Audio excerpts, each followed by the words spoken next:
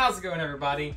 As you may or may not know, I live in a single wide trailer. Nothing fancy about it, it's kind of bland and boring. You see, for the past couple of years, I've been living in a single wide trailer. Why? Because I'm too lazy and too broke to afford an actual house, but I don't really like the feeling of living in a trailer. It doesn't quite feel like an actual house. It's old, it's outdated, it's a little grungy, like very messy and dirty. So I have been working on ways to completely remodel it and refresh it to where it feels like I'm living in a legit house that's nice, new, modern, just built. So, as I remodel this last and final room, I'm going to take the time to show you the four things that I have learned that really help take your room from looking like a mobile home to an actual house. Now, I've mentioned several times already these four things, and you're probably wondering what are they. So without dragging it out, they are flooring, paint, trim, and lighting. Starting with flooring, lose the carpet. It stinks, okay? And it sucks light out of the room and makes it just feel depressing. In all seriousness though, losing the carpet can get rid of so many unwanted smells, and going to hardwood flooring allows the light to bounce off of it, making the room feel that much more airy and open rather than small and confined.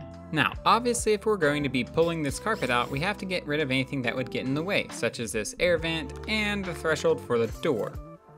Now, unfortunately, if you just try to go ripping and tearing to get this carpet out, you'll run into the issue of having all kinds of tacks holding the carpet down along the edges of the wall. In this situation, the best thing you can really do is take a good box cutter and slide it along the edge of each wall, cutting the carpet away and making it easier to pull out. Now, if you do it right and you've cut cleanly along each wall, it's actually pretty fun because you get to roll the entire carpet up in one big carpet burrito. Now, as soon as you get the carpet removed, you're gonna want to move the wood flooring in as soon as possible because it needs to sit for at least 48 to 72 hours. That might seem a little bit arbitrary and you might think that you can cheat the system a little bit and just ignore that step, but trust me, as it adjusts to the heat and humidity or the cool of your home, it will warp, it will bend, and it will stretch. This can literally cause your floor to start splitting and ruin all your good hard work and all the money that you spent on your nice new flooring. But while we're waiting for the flooring to acclimate to the new environment, it's good to take some time and talk about some of the possible repairs and problems you might run into when you remove the carpet or flooring. For an example, I'm going to show you what happened in my master bedroom. You see, whenever I pulled the carpet back in this room, I found a whole lot of water damage to the subframe.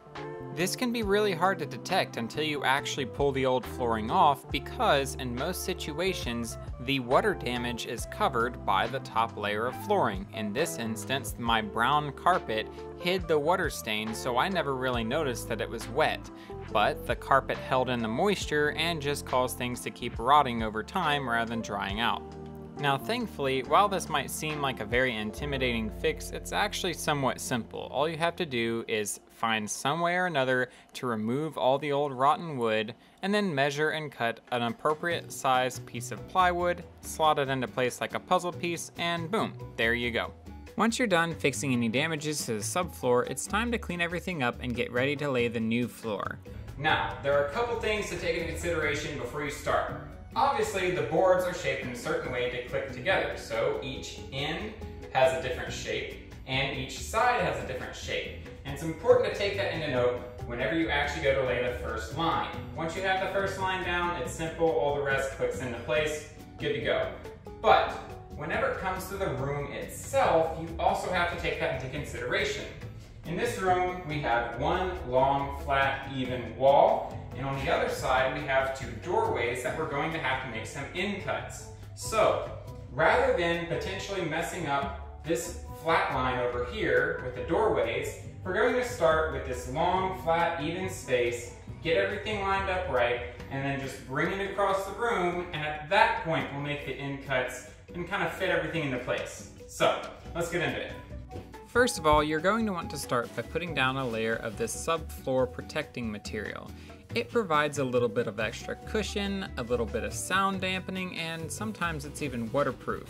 It just depends on how much money you're wanting to spend. This right here is very cheap, comes in a big roll, you just roll it into place and you're good to go. Now whenever you go to lay your first line, make sure you make it as straight and even as possible because everything else will be built off this one line. As you continue adding line by line, you'll probably run into a couple of obstacles like this cable, but it's really not that big of a deal. All you have to do is simply lay the board down, mark out where the cable will need to come through, get the appropriate size drill bit and drill a hole, feed the cable through it, and just click that piece together like you would any other piece. If you end up having to make a more complicated cutout like the one for this air vent hole right here, all you're going to have to do is make sure you're careful with your measurements, mark out the board, cut it with some sort of high-speed saw, and then slot it into place. If you do it right, it should all go together just like a little puzzle piece, and it should be fine. Now what's even harder to do is cutting around the door frames and the final wall. But as long as you take your time and you're careful with your measurements, measure twice, cut once, should be good to go and end up looking pretty decent. As a nice finishing touch, I went ahead and added a brand new floor vent and boom, there you have it. Adding a nice new flooring to any room can really bring it to life and make it feel much more modern and new and sleek. All right, now on to the second thing, paint. As you can see with the paint in here, these walls are a little bit darker, it's a little bit messy and dirty, the walls are in really bad shape, so it's in dire need of a refresh and it needs a new coat of paint. But before we can get to painting, we have to address any damages that are on our walls. So if there's any dents or just massive holes like this, we need to take care of that first before we can start slapping paint on. Now, whenever it comes to patching holes in the wall, depending on what you're working with, you actually have more options than you might think.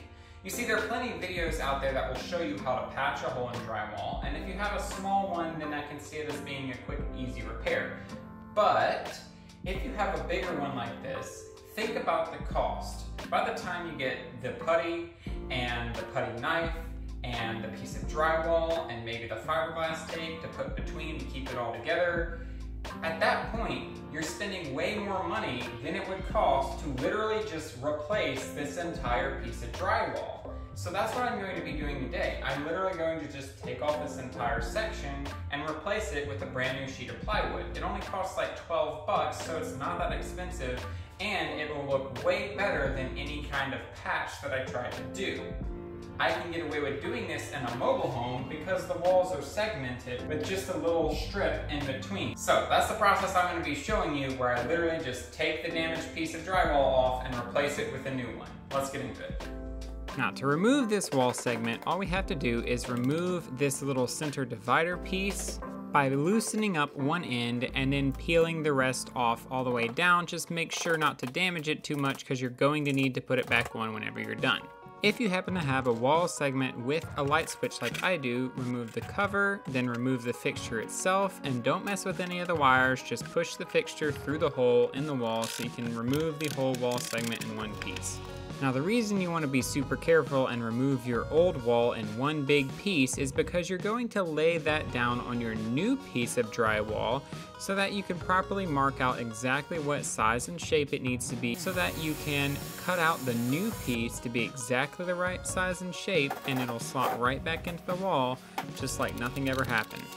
With the damages to the wall repaired, we're going to move right along with preparations for paint, and this is where you need to decide whether or not you want to remove your trim. As you can see, I'm removing my trim because I fully well intend on replacing it, but if you do not intend to replace your trim, just go ahead and mask it off like everything else. Other than that, you want to make sure you are removing or masking off anything you don't want to get paint on. So, Remove the outlet covers and the light switch cover, as well as the blinds and the curtain hangers. Then mask off the outlets themselves and the window sills to make sure that you don't get paint on anything that will be showing whenever you're done. Before you start applying the primer, make sure that you rub the walls down with some sort of coarse cloth like a microfiber towel to remove any loose spider webs or any grease, dirt, debris, just anything that would keep the paint from adhering to the wall. Now before we start playing with paint, let me show you this quick little fun fact. If you take a metal hanger and fold it in on itself, and then snip off the hook at the end, you can actually put that into a drill and use it as a simple little paint mixer. It works really well, and that's what I do for all my projects since I don't feel like cleaning up a paint mixer or buying one in the first place. Anywho, moving on to painting itself, there really isn't a whole lot to it. All I have is just a few basic pointers and kind of things I've learned along the way. First of all, you definitely want to make sure that you're mixing your paint very thoroughly before you start applying it to the wall. It is also super important to test the paint on the wall you will be painting. Make it in a small, inconspicuous area, but test it nonetheless. No matter what it might look like on the sample, it ends up looking different in the lighting of the room based off of whatever coat you're covering. Like there are a lot of different factors, so always just test a small little spot, get a sample, it's much better than wasting a lot of money on a bucket of paint that you won't end up using. Unfortunately for this situation, as you can see, I just went straight for putting the primer on, didn't test the paint, and I was really discouraged whenever I found out that the entire gallon I had got was not the color I wanted. So, test first, paint later. Thankfully, even though this wasn't the color I was going for, it's still really good paint, and it ended up looking really good. It kind of just gave it more of that like minimalist modern vibe as compared to the very open, airy, white light vibe that I was going for. Different vibe, but not necessarily a bad vibe. I still like it. Alright, so the paint color isn't exactly what I intended from the beginning, but it's not too terribly dark, and I think we can roll with it. So, time to move on to step number three, the trim. Trim is super overlooked, but it's actually relatively affordable. It just takes a little bit more effort, but you put it in and it really makes a huge difference. Most mobile homes come with this really nasty, kind of like just flat, super cheap trim, and over time, it definitely shows its age and doesn't look good at all. So, we're gonna be swapping out that old dated trim, and we're gonna be putting in legitimate floor and crown molding and making it look a whole lot better. Let's get into it. Whenever it comes to trim, you really have a lot of options, and it all just depends on what you're wanting it to look like in the end, how much time, effort, and money you want to put into it. On one side of the spectrum, in my master bedroom, I removed all the trim, and not only that, but the window framing wood as well. And I carefully measured everything, sanded the boards down, and put in all new window framing as well as trim, hand stained, everything looked great.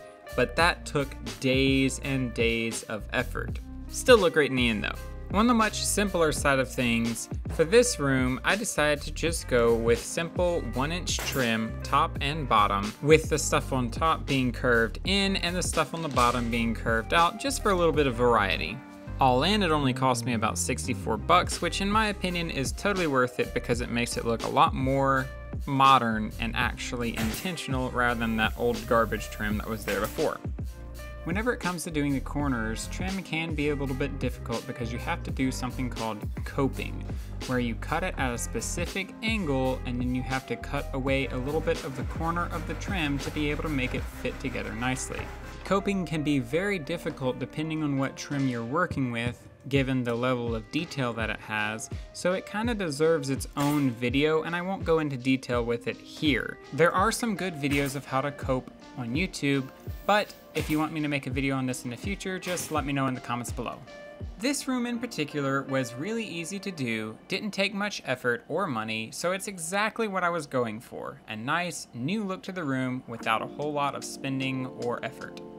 So, that's the trim taken care of, and with that, it's time to move on to the fourth and final thing, and that is lighting. Now, whenever it comes to a mobile home, you don't really have a whole lot of options whenever it comes to lighting, because the ceiling is so low, you can't exactly have this nice fancy fixture or anything like that. And the little fixtures that you get like this, they just don't provide a whole lot of light. With a little bit of light in the room, it looks a lot smaller, a little bit more enclosed, and we want to open up the room, make it look bigger than it actually is. So we need more lighting.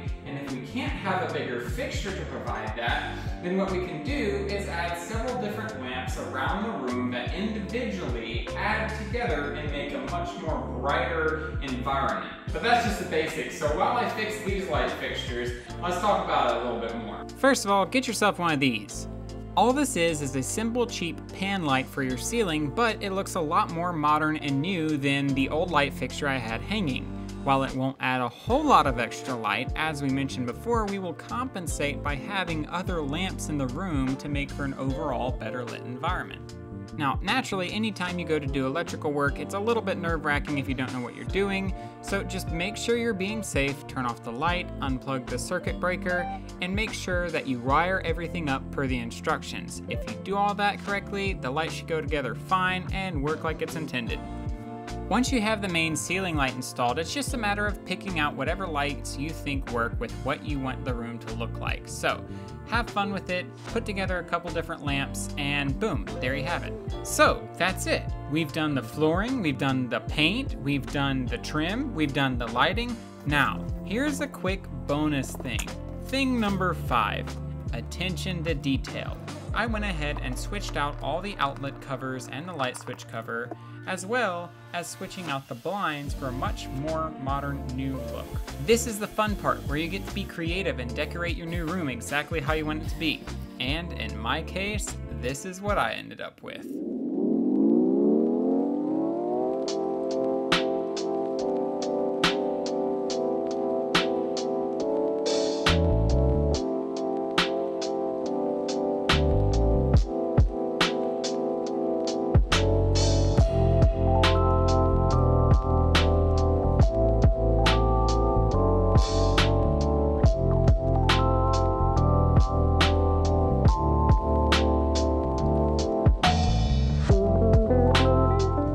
So there you have it. The final room of the remodel is complete, and I am so excited about it. I love how it turned out.